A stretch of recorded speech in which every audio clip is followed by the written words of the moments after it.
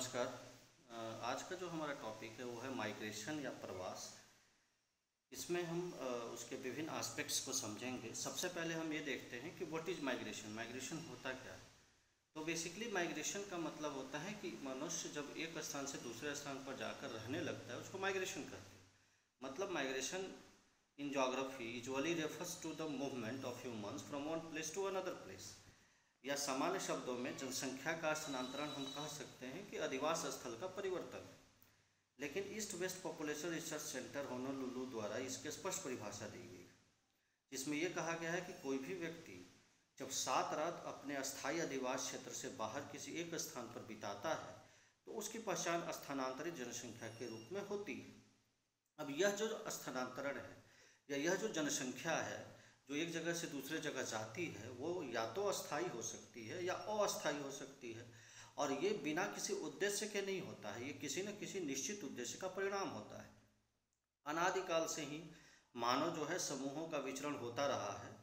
जनसंख्या भूगोल या मानव भूगोल में यूरोपीय पुनर्जागरण के साथ ही जनसंख्या विचरण की विकसित प्रवृत्तियों की पहचान भी जनसंख्या स्थानांतरण के संदर्भ में की जाती है। या इसको प्रजातीय विचरण भी कई जगह कहा जाता है। मतलब ये हुआ कि कहीं ना कहीं जो विचरण होता है या कहीं ना ये मूवमेंट होता है, वो एक निश्चित गंतव्य स्थल पर आधारित होता है। स्वीडिश भूगोलवेत्ता जो हैगर स्ट्रेंट हैं, उनके अनुसार आधुनिक जनसंख्या स्थानांतरण स्रोत और गंतव्य क्षेत्र के बीच का अंतराकर्षण का परिणाम है। ये जो अंतराकर्षण है, ये किसी भी जानकारी से भी संभव हो सकता है। परिवहन, संचार, सूचना के साधन जैसे जैसे विकसित होंगे स्थानांतरण का जो दिशा है, उसका उद्देश्य है, समय है, अवधि है, सब में परिवर्तन होता है। तो कहने का मतलब ये है कि जो माइग्रेशन होता है, उसको ब्रॉडली हम दो पार्ट में बांट सकते हैं। एक जहाँ से माइग्रेशन होता है और जहाँ माइग्रेट होकर पॉपुल जाते हैं। दैट मीन्स एक स्रोत क्षेत्र होता है, दूसरा गंतव्य क्षेत्र होता है। यानी कि अधिकतर जनसंख्या स्थानांतरण दो प्रमुख कारण से होते हैं। या तो उसमें पुल फोर्स होगा, या तो उसमें पुश फोर्स होगा। आकर्षण और विकर्षण शक्ति। पुल फोर्स जो होता है, वो मूलतः गंतव्य स्थल पर होता है और स्रोत क्षेत्र में बेसिकली पुश फोर्स होता है। अब यहाँ पे जो पुश फोर्स है, उसके कई कारण हो सकते हैं। जैसे जनसंख्या दबाव हो सकता है। जनसंख्या दबाव होने से खाद्यान्न में कमी होती है, तनाव हिंसा होता है, सीमित कृषि भूमि पर जनसंख्या का भार अधिक हो जाता है, ज़मीन का मूल्य अधिक हो जाता है तो ये सब कारण बनते हैं कि वो मूवमेंट हो पॉपुलेशन का। प्राकृतिक आपदाएँ जो है वो कारण हो सकती हैं। जैसे अफ्रीका जनजातियों का स्थानांतरण, ये उसका उदाहरण है। आर्थिक कारण हो सकते हैं, जिसमें बेरोजगारी है, मजदूरी है, जीवन निर्वाह हेतु, अनुपलब्धता है, संसाधनों का। तो ये सारे कारण जो हैं, वो कहीं ना कहीं जनसंख्या स्थानांतरण से जुड़े हुए हैं। सांस्कृतिक कारण में प्रजातीय, धार्मिक या जातीय सामुदायिक कारण हो सकते हैं। जैसे भारत पाक का विभाजन हुआ, उसमें जो स्थानांतरण हुआ, वो मुश्किल बेसिकली सांस्कृतिक कारक ही था। या पश्चिमी यूरोप में अन्य प्रोटेस्टेंट धर्म लोगों का स्थानांतरण हुआ, ये भी सांस्कृतिक कारण था। सेकेंड वर्ल्ड वार के बाद राजनीतिक और सामरिक कारण भी विकसित हुए, जैसे तिब्बतीय शरणार्थियों का आना। ये भी एक जो है बहुत मेजर कारण था जो कि काम किया जनसंख्या स्थानांतरण में। इसके अलावा जो पुल फोर्स होता है, खींचने की प्रवृत्ति होती है, वो बेसिकली डेस्टिनेशन या गंतव्य क्षेत्रों पे होती है। ये कई प्रकार के हो सकते हैं, जिसमें पर्यावरणीय कारक सबसे प्रमुख है। मतलब कि वैसे विरल क्षेत्रों में जनसंख्या स्थानांतरण प्रारंभ हो जाती है, जिसकी स्थलाकृति जलवायु, जल या वनस्पति मानवीय अधिवास के लिए अनुकूल है। जैसे एक छोटा उदाहरण है कि यूरोप से आने वाली जनसंख्या संपूर्ण ऑस्ट्रेलिया में नहीं बस के, बल्कि पूर्वी ऑस्ट्रेलिया में बसी है। उसी तरह से यूएसए, कनाडा और न्यूजीलैंड में भी यूरोपीय जनसंख्या के अधिवास उन्हीं क्षेत्रों में हुआ है, जो उनकी परिस्थिति के अनुकूल थे। दूसरा रीजन एम्प्लॉयमेंट हो सकता है। जैसे भारतीय मूल के लोग रोज़गार चाहते हैं तो वो बहुत सारे देश विदेश में गए, जिसमें मॉरिशस, फिजी भी है। हमारे यहाँ भी पंजाब, हरियाणा वगैरह से लोग चाहते हैं। खाद्यान्न की उपलब्धता एक मेजर रीजन हो सकता है। इसके अलावे जो है सेफ्टी स्टेबिलिटी फ्रीडम ये सब भी जो कारण बनते हैं, वो कहीं ना कहीं मानवीय पलायन को, के लिए ज़रूरी होते हैं। दूसरी बात है राजनीतिक कारण। जैसे राजनीतिक कारण में अमेरिका का एक आउटसोर्सिंग नीति भी लोगों को बाधित कर रही थी। 1948 में जब वाइट ऑस्ट्रेलियन पॉलिसी भी आई थी एट्टी एट में इसे बाद में हटा दिया गया था। फिर खालिस्तान आंदोलन भारत में था। इक्वेडोर में भी इस तरह की चीज़ें हुई थी। तो इस तरह के जो पॉलिटिकल फैक्टर्स हैं, वो भी कहीं ना कहीं स्थानांतरण को प्रभावित करते हैं। तो ये माइग्रेशन का जो मेन कॉजेज है, उसको पुल और पुश फोर्स में हम दो बांट के देख सकते हैं। जैसा कि आप यहाँ पे देख पा रहे हैं। अब माइग्रेशन के पैटर्न और अगर टाइप की हम बात करें तो भूगोलवेताओं ने विश्व जनसंख्या के स्थानांतरण को दो वर्गों में बांटा है। पहला जो स्थानांतरण है, वो है द्वितीय विश्व युद्ध के पहले का और दूसरा द्वितीय विश्व युद्ध के बाद का। अगर हम द्वितीय विश्व युद्ध के पहले के स्थानांतरण को समझें तो हम इसको तीन पार्ट में बांट के देख सकते हैं। एक तो वैसा माइग्रेशन जो स्वैच्छिक है, यानी अपने मन से लोग माइग्रेट हुए। दूसरा जो श्रमिक स्थानांतरण है और तीसरा जो दबाव के कारण स्थानांतरण स्वैच्छिक का स्रोत जो है मुख्यतः उस टाइम पे यूरोप था। और गंतव्य क्या था? US Canada Australia New Zealand और साउथ अफ्रीका यहाँ पुल और पुश फोर्स दोनों काम कर रहा था, लेकिन यूरोप का जो कुछ स्थानांतरण वो पुल फोर्स के कारण हुआ था, जो कैथोलिक मिशनरी वगैरह से रिलेटेड था। जिसका मुख्य उद्देश्य क्या था? ईसाई धर्म का प्रचार करना। लैटिन अमेरिका में ये लोग अधिक संख्या में गए। प्रोटेस्टेंट का प्रवसन भी कहीं ना कहीं सामूहिक हुआ। तो ये सारे जो है स्वैच्छिक स्थानांतरण हुए। श्रमिक स्थानांतरण तीन स्रोत था। भारतीय उपमहाद्वीप था, जहाँ से जनसंख्या को लाया गया अफ्रीका था और कुछ तटीय क्षेत्र थे और दक्षिणी यूरोप था। भारतीय महाद्वीप से जैसा कि हमें पता है कि Mauritius, Fiji, Suriname, West Indies में लोग गए श्रमिक को लेके गए थे। वहीं पे Malaysia, Indonesia, Madagascar, South Africa, Kenya से भी भारत से श्रमिक गए थे। अफ्रीका तट से भी काफ़ी स्थानांतरण हुआ था, जिसको हम स्लिफ ट्रेड के नाम से जानते हैं। तो ये सारे जो है वो लेबर माइग्रेशन में आते हैं।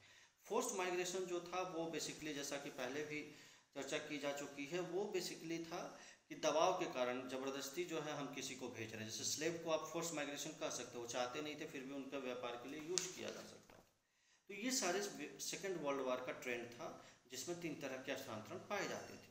आफ्टर सेकेंड वर्ल्ड वार की बात करें तो उसमें हम दो पार्ट में बांट सकते हैं। फ़र्स्ट स्टेज जो है, वो 1945 से 60 का है, और दूसरा स्टेज है 60 के बाद का। अगर हम 45 से 60 की बात करें तो इसमें बहुत सारे टाइप्स हैं। जैसे यूएसए और कनाडा में एशिया जनसंख्या बढ़ा इस दौरान। उसी तरह से इजराइल का गठन हुआ तो वहाँ भी यहूदी जनसंख्या विश्व भर से आके बसी। UK France Australia Brazil Argentina में भी लगभग बाहर से लोग आके बसे। तो ये जो है 45 से 60 का दशक था। उसी समय जो है आपका भारत पाक विभाजन हुआ, जिसमें बहुत सारे हिंदू और मुसलमानों का, सिख का, इन सब का स्थानांतरण हुआ। इसके अलावा तिब्बती शरणार्थी का भारत में आगमन भी कहीं ना कहीं जो है फ़र्स्ट स्टेज का ही ट्रेंड था। श्रमिक का स्थानांतरण हुआ बेसिकली वो भी फ़र्स्ट स्टेज का ट्रेंड था। तो ये 1945 से 60 के क्रम का था। 60 के बाद जो है ये नई प्रवृत्तियाँ विकसित हुई। जैसे पहले जो यूएसए कनाडा में एशियाई मुल्क के लोग जाते थे, वो आज भी कायम है, उस समय भी था। 1985 में चीन में साम्यवादी नीति जब आई या साम्यवादी चीन से आने वाले लोगों की प्रवृत्ति प्रारंभ थी 1985 के बाद, जो कि यूएसए में सर्वाधिक लोग मेक्सिको से उस टाइम पे आ रहे थे, चाइना से आने लगे। दूसरा स्थान भारत का था। चाइना उस समय थर्ड पोजीशन ले लिया था। तो कहने का मतलब कि वो कहीं ना कहीं, वो भी एक स्थानांतरण का पार्ट 1960 के बाद हुआ। हालाँकि मेक्सिको के मैक्सिमम पॉपुलेशन जो है वो गैर कानूनी रूप से लोग आ रहे थे वहाँ पे। दूसरा जो गंतव्य क्षेत्र के रूप में डेवलप हुआ था 60 के बाद, वो था मिडिल ईस्ट और साउथ ईस्ट एशिया ओपेक के गठन के बाद जो है तेल के उत्पादन में वहाँ काफ़ी तेज़ी से वृद्धि हुई और उससे श्रमिकों की ज़रूरत पड़ी तो सेकेंड स्टेज में वहाँ पे जनसंख्या का आगमन शुरू हुआ। तीसरा जो पार्ट था वो था खाद्य संकट और जनजातीय तनाव जो अफ्रीकन कॉन्टिनेंट में देखने को मिला, जिससे मिस्र, अल्जीरिया और नाइजीरिया में जो है स्थानांतरण देखने को मिलती। है इसके अलावे आपका, अगर आप कह सकते हैं तो पश्चिमी यूरोप पूर्वी यूरोप से जो पश्चिमी यूरोप में स्थानांतरण हुआ ये भी कहीं ना कहीं जो है 1960 के बाद हुआ। हालाँकि 1990 के बाद ये वृद्धि हुई थी। इस प्रवृत्ति का विकास का ग्लासनोट और प्रोस्टोरी का सुधार कारण माना जाता है, जिसका बड़ा स्रोत रूस था और गंतव्य जर्मनी था। उसी तरह से ऑस्ट्रेलिया, न्यूजीलैंड में एशियाई जनसंख्या का स्थानांतरण हुआ। यह भी जो है 1960 बाद, के बाद का सिचुएशन था। तो कहने का मतलब कि डिफरेंट डिफरेंट सिचुएशन में अलग अलग स्टेज में स्थानांतरण हुआ। अभी का जो स्थानांतरण है, वो बेसिकली इसी से जुड़ा हुआ जो तीसरा पार्ट है कि स्थानांतरण जब होता है तो उसका व्यापक प्रभाव पड़ता है और वो जो है दोनों जगह पड़ता है, स्रोत क्षेत्र पे भी, गंतव्य क्षेत्र पे भी। जैसे डेमोग्राफी की अगर हम बात करें तो जहाँ स्रोत क्षेत्र से जनसंख्या जाती है, वहाँ डेमोग्राफिक चेंज होता है और जहाँ गंतव्य क्षेत्र में भी डेमोग्राफी चेंज होता है। जैसे अगर हम बात कहें कि यूएसए, दक्षिण अफ्रीका, मॉरिशस, फिजी जैसे देशों में बहुवादी समाज होने का मुख्य कारण बाहरी जनसंख्या का आगमन। उसी तरह से स्विट्जरलैंड, जर्मनी में बाहरी जनसंख्या के आगमन से ही जनसंख्या वृद्धि की ह्रास प्रवृत्ति देखी गई है। तो ये डेमोग्राफिक चेंज वहाँ देखने को मिलता है। इकोनॉमिक चेंज की अगर बात करें तो इसका आर्थिक प्रभाव भी पड़ता है। जैसे स्रोत क्षेत्र में तो बेरोजगारी की समस्या का समापन होने लगता है, लेकिन गंतव्य क्षेत्र में चूँकि अधिक लोग पहुँचते हैं तो वहाँ पे बेरोजगारी की समस्या उत्पन्न होने लगती है। यूएसए जो, ने जो आउटसोर्सिंग का नीति बनाया है, इसी कानून का उदाहरण है। यूके भी कहीं ना कहीं इस तरह की नीतियों पर बल देता है। तो कहने का ये मतलब है कि ये जो समस्या है, वो एक जगह पे कम होती है तो दूसरी जगह पे बढ़ने लगती है। दूसरी तरफ़, प्रति व्यक्ति आय में भी आपको देखने को इकोनॉमिक चेंजेस मिल जाएगा। जनसंख्या बढ़ेगा तो प्रति व्यक्ति आय अपने आप डिक्लाइन कर जाएगा। तो ये सारी चीज़ें हैं। सामाजिक, सांस्कृतिक प्रभाव की अगर बात करें तो ये भी जो है, क्योंकि जो व्यक्ति जाएगा, वो धर्म या अपनी संस्कृति लेके जाता है। तो वहाँ के संस्कृति में वो मिक्सअप होता है और कहीं ना कहीं जो है एक चेंज होता है, एक बहुल समाज का उत्पन्न होता है और एक मिश्रित संस्कृति डेवलप होती है तो ये भी परिवर्तन आता है। तो कुछ पॉजिटिव भी होता है, इसमें कुछ निगेटिव भी होता है।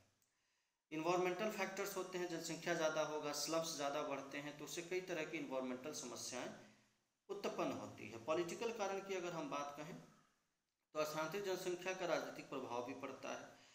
कई बार जनसंख्या जो है, वो राजनीतिक निर्णयों को प्रभावित करती है। बांग्लादेश का निर्माण इसका उदाहरण है। 1971 युद्ध का कारण शरणार्थियों के यहाँ आगमन ही था। भारत, चीन के बीच खराब संबंध का भी कारण था, क्योंकि दलाई लेमा और शिष्यों को हमने शरण दी थी। तो इस तरह के शरणार्थी नियम में भी कई चीज़ें जो है, वो निगेटिव इम्पैक्ट भी डालती है। पॉजिटिविटी की बात करें तो मॉरिशस, फिजी को आप देखिए तो भारतीय मूल के लोग वहाँ राष्ट्राध्यक्ष हैं तो ये सब एक पॉजिटिव कारण भी होता है। तो कहने का तात्पर्य है कि स्रोत और गंतव्य दोनों क्षेत्रों में जनसंख्या माइग्रेशन का प्रभाव पड़ता है। और ये जो व्यापक प्रभाव डालता है, ये कहीं ना कहीं आने वाले दिनों में भी देखने को मिलेगा। आप डब्ल्यूटीओ के सर्विस ट्रेड के मुद्रा की बात करें तो ये भी इसी सब चीज़ों से संदर्भित है। तो आई होप आपको माइग्रेशन का ओवरऑल चीज़ें समझ में आ गई होगी कि स्रोत और गंतव्य क्षेत्र में कैसे बदलाव होता है, क्या पैटर्न रहा है और क्या क्या उससे प्रॉब्लम्स क्रिएट होता है। बहुत बहुत धन्यवाद। थैंक्स